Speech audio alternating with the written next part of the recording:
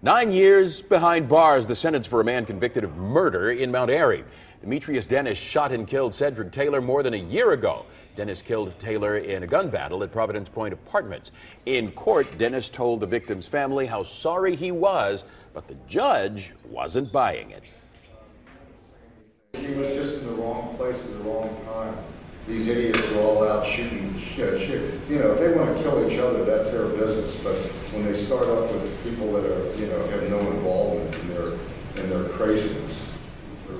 Demetrius Dennis only has eight years left in prison because of time already served.